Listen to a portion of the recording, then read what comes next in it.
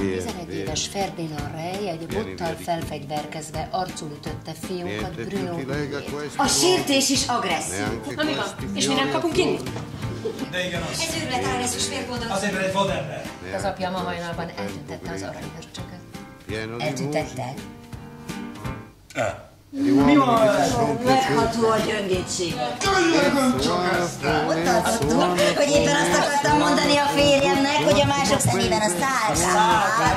Kurva életbe! Mondjad csak! Mondjad! Ez a hülye picsa! Szarok a hősségre! Én hiszek az öldöklés istenében. Ő kormányozza a világot. Ő egyedül a világ kezdete óta.